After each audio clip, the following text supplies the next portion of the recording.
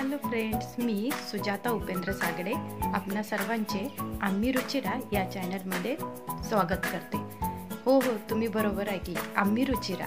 कारण तुमच्या सर्वांच्या लाडक्या वंडर वुमन आता तुम्हाला भेटणार आहेत. आम्ही रुचिरा या नावाने. आणि तुम्हा सर्वांसाठी घेऊन येणार आहेत नवनवीन रेसिपीज चला तर फ्रेंड्स आज आपण पाहणार आहोत एक अशी रेसिपी की अचानक घरी पाहुणे आले किंवा नवीन सुनबाईंना सासरी एखादा गोड पदार्थ करायचा आहे.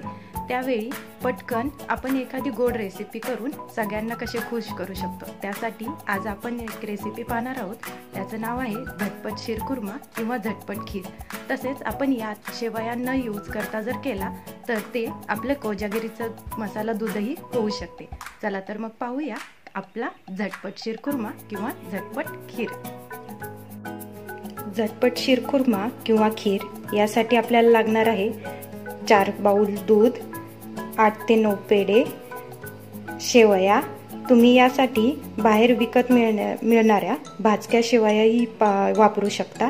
एक बाऊल पाणी पेढ्याच्या गोडीनुसार आवश्यक तेवढी साखर मनुके चार चमचे साजूक तूप आणि बदाम आणि काजूचे काप. प्रथम आपण पेढ्यांमध्ये अर्धा बाऊल दूध ॲड करून घेणार आहोत.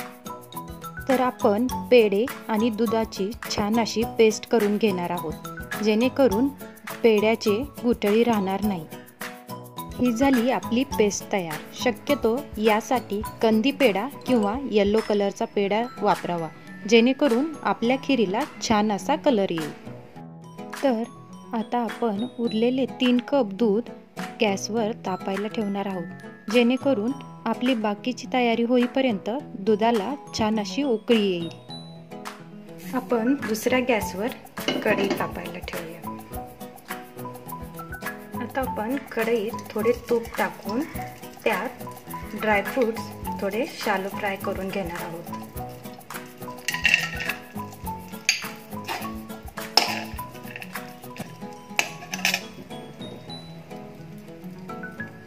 तसेच आपण मनुके किंवा किसमिस तुपात थोडेसे फ्राय करून घेणार आहोत.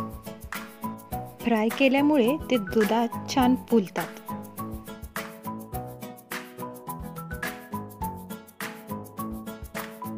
दुधाला छान अशी उकळी आलेली आहे.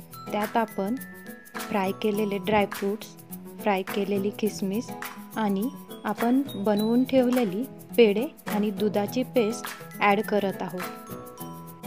उकळत्या दुधात पेढा छान असा मिक्स होईल आणि कलरही छान येईल. आपल्या दुधाला आता छान कलर आला आहे आणि आपले मिश्रण आता उकळू लागेल. त्यामुळे पळी किंवा चमचा त्यात तसाच राहू द्यावा. जेणेकरून आपले हे मिश्रण उतू जाणार नाही. ड्रायफ्रूट्स आणि किसमिस आपण ज्या कढईत फ्राय करून घेतले होते त्याच कढईत आता आपण शेवया छान भाजून घेणार आहोत. त्यासाठी आपण त्यात दोन ते तीन चमचे साजूक तूप घालून त्या आपण छान लालसर भाजून घेणार आहोत. शेवया लालसर भाजल्या तरच त्याला छान अशी टेस्ट येते. आपल्या शेवयाही छान लालसर भाजलेल्या आहेत. तसेच आपल्या मिश्रणाला छान उकळी आलेली आहे. तसेच आपण पेढा किती गोड आहे त्यानुसार आवश्यकते एवढी साखर ॲड करणार आहोत.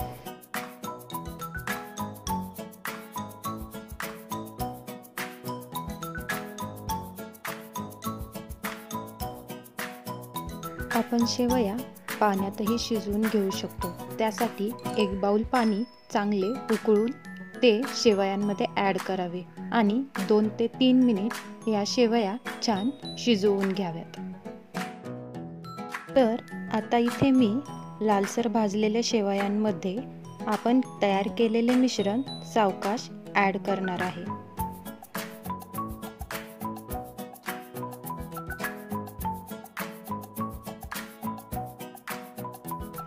हे मिश्रण आता आपण दोन ते तीन मिनिटांसाठी उकळू देणार आहोत जेणेकरून आपल्या शेवया छान अशा शिजतील. आपला झटपट शिरखुर्मा रेडी झालेला आहे. पेड्यांमुळे शिरकुर्म्याला कलरही छान आलेला आहे आणि आपल्या लालसर भाजलेल्या शेवयांचा सुगंधही खूप खमंग येत आहे. चला तर मग ही झटपट शिरकुर्म्याची रेसिपी तुम्ही पण ट्राय करा.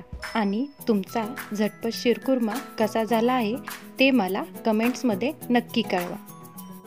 व्हिडिओला लाईक करा शेअर करा आणि चॅनलला सबस्क्राईब केले नसेल तर नक्की सबस्क्राईब करा. थँक्यू